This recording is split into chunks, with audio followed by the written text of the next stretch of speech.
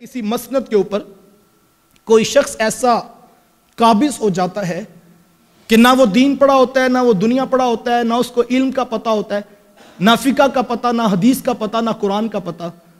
اب وہ بیٹھ تو وہاں پر گیا ہے۔ اگر وہ علم والا بٹھائے گا تو پتہ لگے گا یہ تو ڈاکو بیٹھا ہے، یہ تو علم والا ہے ہی نہیں۔ لہٰذا ایک ایسا کلچر انٹروڈیوس کروایا جاتا ہے کہ علم اور علماء کی مخالفت سکھائی جاتی۔ اور ایک نئی ٹرم جو ہے وہ انٹروڈیوس کرائی جاتی ہے کہ جناب یہ تو ظاہر والے ہوتے ہیں اور ہم باطن والے ہوتے ہیں۔ یہ یاد رکھیں، علم کے بغیر نہ ظاہر روشن ہوتا ہے، نہ باطن روشن ہوتا ہے۔ علم راہ ہے، علم منزل ہے، اس کو ہم نے حاصل کرنا ہے۔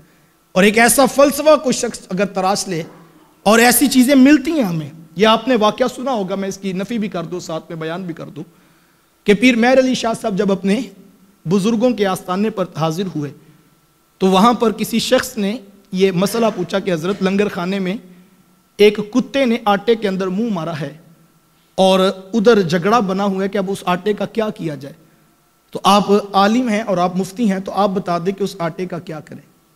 تو یہ ہمارے ہاں خطبہ بھی بیان کر جاتے ہیں اور زوردار نعرہ بھی لگایا جاتا ہے کہ پیر مہر شاہ صاحب نے کہا کہ میں اپنے پیر کے آستانے پہ فتویٰ لگانے نہیں آیا، میں فیض لینے آیا ہوں۔ تو یہ آٹے کا پیڑا بنا کے تم روٹی پکا کے مجھے کھلا دو، میں یہ کھا لیتا ہوں۔ یہ بات بیان کی جاتی ہے اور لوگ اوپر سے پھر نعرہ مارتے ہیں کہ دیکھا نا پیر مہر شاہ صاحب مفتی ہونے کے بعد انہوں نے بات کوئی نہیں کی۔ اور فیض ملتا ہی تاب ہے جب آپ وہاں پر جھک جاتے ہیں اور آپ کو قبول کرنے پڑتا ہے جو کچھ بھی ہو۔ تو میں سادہ سی بات کرتا ہوں صاحب، پیر مہر شاہ اتنے جاہل تھے معاذ اللہ کہ اتنا چھوٹا سا مسئلہ بھی ان کو نہیں پتا تھا کہ کتے کا جوٹا کھانا چاہیے یا نہیں کھانا چاہیے۔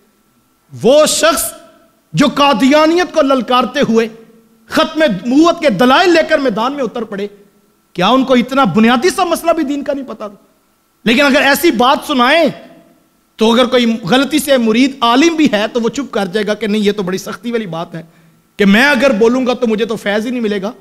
اور کتنے لوگ ہیں، یقین جانیے، یہ علم کی راہیں بند کرنے والے لوگ ہیں۔ چونکہ اگر علم آئے گا تو ان کے کاروبار ختم ہو جائیں گے۔ چونکہ علم جو ہے وہ حق کا متلاشی ہے۔ اور باطل کی حمایت کبھی بھی علم نہیں کرتا۔ لہٰذا وہ اپنا کاروبار بچانے کی خاطر ایک ایسا فلسفہ تراش لیتے ہیں۔ یہ پیر مہر علی شاہ صاحب کی میں آپ کو بات سنا دیتا ہوں۔ کسی شخص نے پیر مہر علی شاہ صاحب سے آ کر پوچھا کہ حضرت ہم نے یہ بات سنی ہے کہ جو آپ کے پیر و مرشد ہیں، انہوں نے قبروں کے طواف کو جائز قرار دیا ہے۔ تو کیا یہ بات ٹھیک ہے؟ تو پیر مہر علی شاہ صاحب نے بڑا خوبصورت جواب دیا۔ آپ فرمانے لگے کہ پہلی بات تو یہ ہے اپنے پیروں کو، اپنے بزرگوں کو تمہاری نسبت میں زیادہ جانتا ہوں۔ مطلب یہ تھا کہ انہوں نے ایسی کوئی بات نہیں لکھی۔ طواف صرف رب کے گھر کعبہ کا ہے، اس کے علاوہ کسی شے کا طواف نہیں۔ تو اس کو بتایا کہ اپنے بزرگوں کو تمہاری نسبت میں زیادہ جانتا ہوں۔ اور جو دوسری بات کہی، وہ بڑی خوبصورت تھی۔ اس کا مفہوم یہ ہے، آپ پوچھا اس نے کہ آپ کے پیروں نے قبروں کے اوپر طواف کرنے کو جائز لکھا ہے؟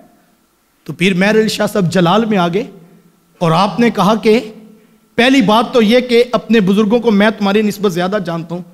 اور دوسری بات یہ ہے کہ میں نے کلمہ محمد عربی کا پڑھا ہوا میں نے کلمہ پیر کا نہیں پڑھا ہوا۔ اس ضابطے پہ کھڑا ہونا پڑے گا جناب۔ اگر کسی دوسرے ضابطے پہ کھڑا ہوں گے تو اس کا جو جی چاہے گا، وہ آپ سے کروائے گا۔ ہم تو آئے ان جگہوں پر، علم علماء کے پاس آئے اس لیے تھے کہ وہ ہمیں اللہ اور اس کے رسول کی چوکھٹ کا پتہ بتائیں۔